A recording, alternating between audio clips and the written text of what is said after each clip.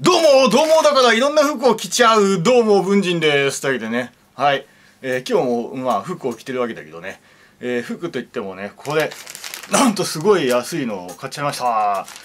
バーン!アンダーシャツ。下着なんだけどね、えー半袖 V 首 V 首ビクトリー T シャツね、えー M サイズ。俺は大体 M がちょうどいい。買っちゃいました。これ皆さんこれいくらしたと思います？これ。そうなんですよこれ。なんと499円。500円玉で払うとね1円お釣りが来る。あここに書いてあるから。499円。ね。でしかもねこれ1個で1個でも500円じゃまあそこうんまあ普通じゃね。安いのかな？分かんない。庶民感覚が分かんないから。いやまあ庶民か。庶民感覚庶民よりも安いものを買うように心がけてるからね。庶民感覚が分かんないんだけど。えー、ここで皆さんから見るとこれ高い安い？分かんないけど。まあ多分ねあだいいやそんないまいちじゃないかな。そんなえまあ500円ぐらいだったら普通じゃねえ？って思うでしょなんとこれね2枚で2枚そう2枚組。2枚でねえー、そう。大体500円っつうね。いやもう麺麺が100%だよ。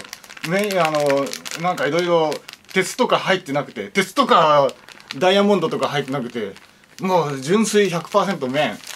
でこれあれ？ちょっと待って。1個しか入ってねえじゃんって思うじゃん。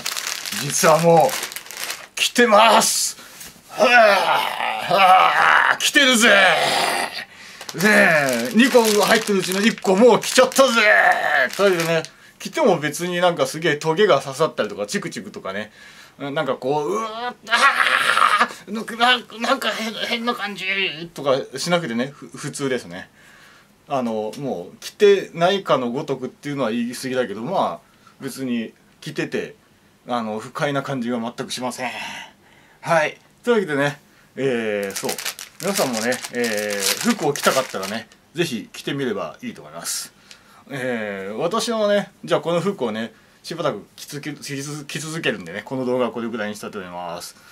はい。というわけでねそれでは服服はうち。